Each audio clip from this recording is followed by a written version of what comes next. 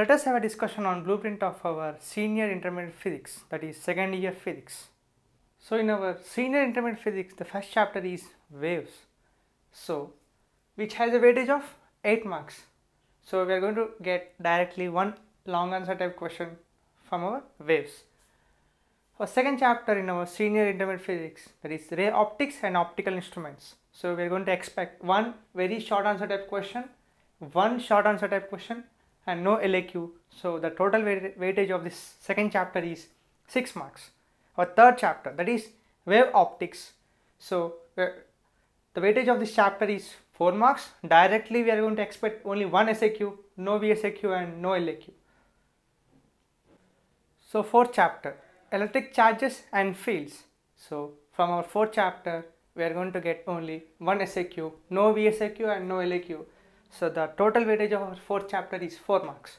Fifth chapter that is electrostatic potential and capacitance. So the weightage of fifth chapter is 4 marks. We are going to get directly one short answer type question, no VSAQ and no LAQ.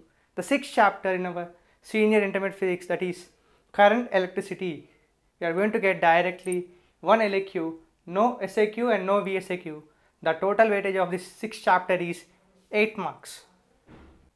So seventh chapter, moving charges and magnetism, which has a weightage of 6 marks, which means we are going to get directly one very short answer type question, one SAQ and no LAQ.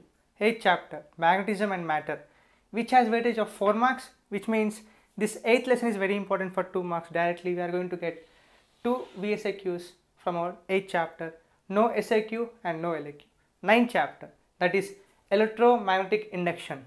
The weightage of this ninth chapter is 4 marks which means directly we are going to expect one SAQ, no VSAQ and no LAQ.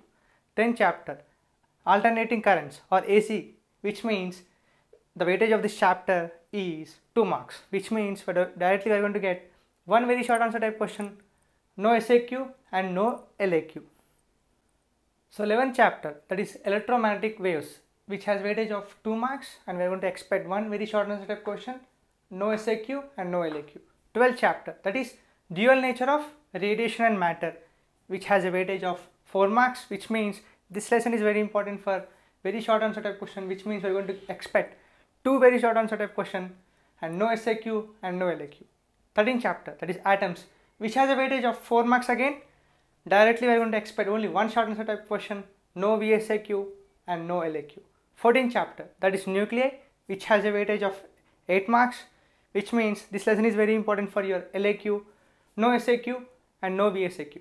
15th chapter semiconductor electronics which has a weightage of 6 marks again which means this chapter is very important for one VSAQ, one SAQ and no LAQ.